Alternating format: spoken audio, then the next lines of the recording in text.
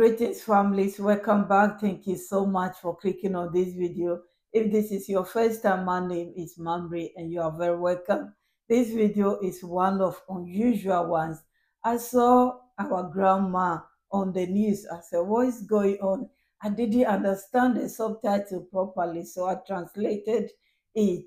And I love the story because I can relate to this story very well. I can't begin to tell you, it will be too long, but please listen to our grandma and the story, the reason why she is a hero of Burkina Faso, just like the army officer that I shared some time ago. I'm hoping that we can learn from our grandma. Families, please listen. I'll be back. Thank you for your time.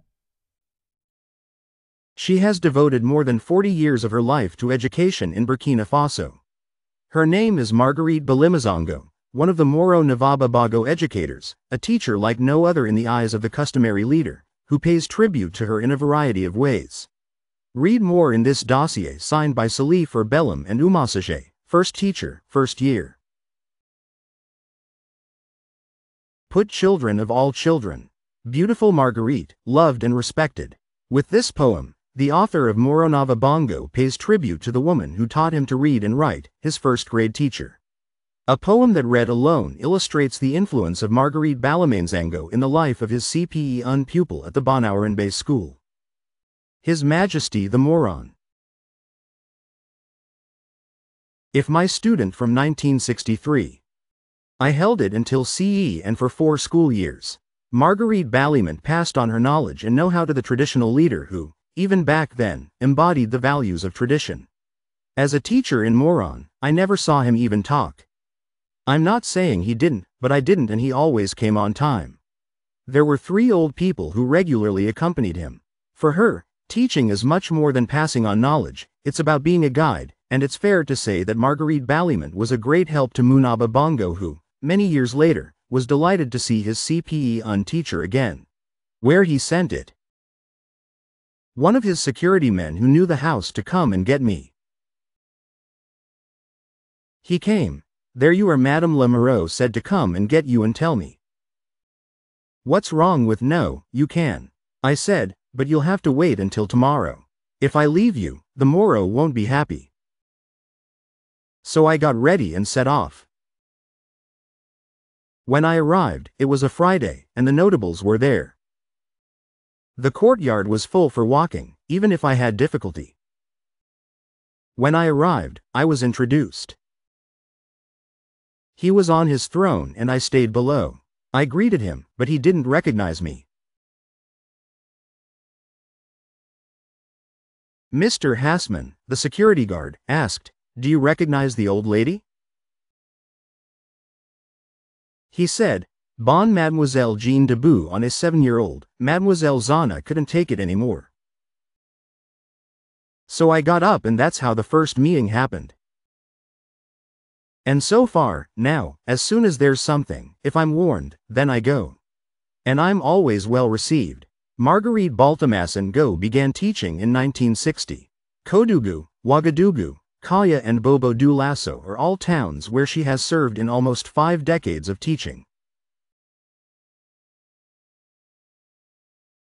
Marguerite Balaman calls teachers to the priesthood, to see their profession as a mission, a great responsibility. That of contributing to the construction of taxes that have no better via quality human resources. A mission whose responsibilities are shared with the cell. Families, thank you for listening to this wonderful, inspiring video. What do you think? What's going on in your mind? Do you know anyone who has imparted something good in your life. I know he was my teacher as well. And it's a long story. One day I will tell you. And thank goodness I went back to say thank you to him because life is too short. I don't know when I will go or when he will go. I want him to know that what he has done for me, I'm grateful. Please, if you know someone in your life that has done something, it doesn't matter how little it is.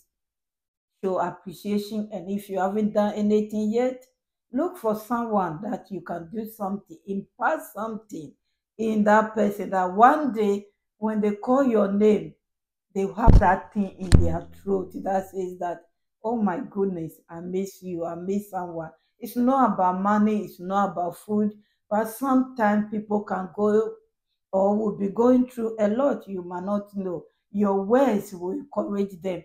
Your words will change something in them, will shape the direction in which they are going. You don't have to be a teacher to be good or to be nice to other people. Let's find way and means to impart something in one another. That's all I want to say. God bless you all.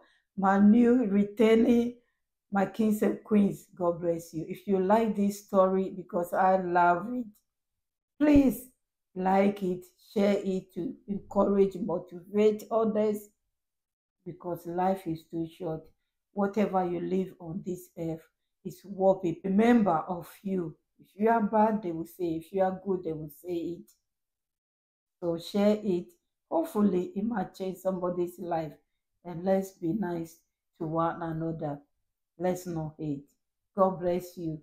Teachers out there, if you listen to this, what are you doing? Change the life your children that you are looking after. It shouldn't be teachers alone. Each and everyone, we should play our part. Credit to RTB. See you soon. Bye bye.